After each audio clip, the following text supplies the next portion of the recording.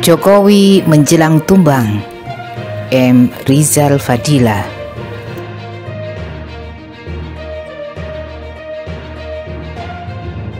Ajal kekuasaan Jokowi tinggal menghitung mundur meski pernah dan kuat wacana penundaan pemilu atau perpanjangan masa jabatan tetapi wacana itu semakin meredup seiring Jokowi aktif untuk mendukung atau mengkondisikan capres pilihannya.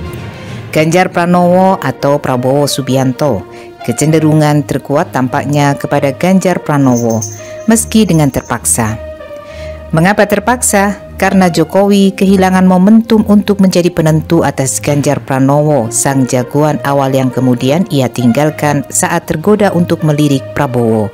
Sementara Megawati merebut Ganjar atas dasar kalkulasi untuk masa depan PDIP, meski harus mengorbankan karir dekat putrinya Puan Maharani. Ganjar yang direbut paksa membuat sok Jokowi, ia limpung. Meski Jokowi mencoba memperbaiki posisi tetapi Ganjar kini sudah milik Megawati dan PDIP. Jokowi menjadi bukan penentu tetapi penyerta, bahkan singgah sana pun harus direlakan untuk dimanfaatkan. Jokowi panik menjelang tumbang. Tumbang normal pada tahun 2024 dan atas kecelakaan jika harus lengser sebelum 2024. Dua hal yang mungkin terjadi dalam proses politik. Kepanikan jika harus meninggalkan istana pada tahun 2024 adalah ketidakpastian jaminan akan diri dan keluarga pasca tidak berkuasa. Jikapun Ganjar menjadi presiden, Jokowi akan tetap berat berhadapan dengan tuntutan rakyat atas hutang dan beban berbagai kebijakan politiknya.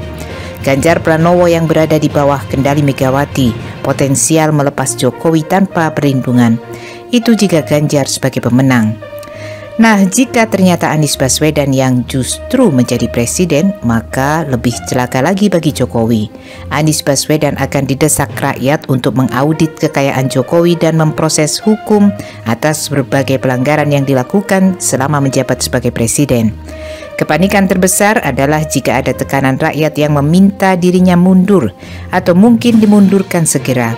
Gaung pemakzulan yang akan menggema Manuver politik menuju 2024 yang dilakukan Jokowi semakin tak terkendali. Bergerak di antara usaha menyingkirkan Anies, merebut kembali kendali atas Ganjar, serta mengobati dan memulihkan kepercayaan pengkhianatan kepada Prabowo. Berbagai manuver tak terkendali akan menjadi bumerang, menggali kuburan sendiri untuk mengisinya lebih cepat blunder politik akan mempertajam perpecahan internal di lingkungan istana. Publik sudah tahu dan bisa membaca antara Megawati dan Jokowi sebenarnya tidak akrab. Begitu juga dengan partai koalisi yang sedang bergerak sendiri-sendiri mencari posisi. Ketaatan pada Jokowi hanya basa-basi. Ketika mengumpulkan partai koalisi di istana, ia menyatakan tidak melanggar konstitusi karena bertindak sebagai politisi. Ia lupa jika sebagai politisi memanfaatkan fasilitas negara itu yang disebut melanggar konstitusi, masuk kategori perbuatan tercela yang menjadi elemen untuk impeachment. Manuver terdekat Jokowi adalah Musra Relawan 14 Mei 2023 di GBK Senayan, disebut sebagai puncak kebingungan Jokowi.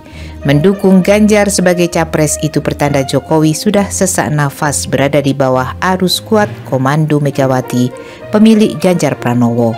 Jika semangat mendorong Projo agar mendukung Prabowo, maka itu indikasi bahwa perpecahan elit politik istana sudah semakin nyata. Memang kalau seseorang sudah mendekati ajal, maka saat sakaratul maut, ia meronta-ronta dengan tak jelas pegangan, penuh ketakutan dan kekhawatiran akibat dosa-dosa yang bertumpuk. Pak Jokowi tidak terkecuali meronta menjelang tumbang.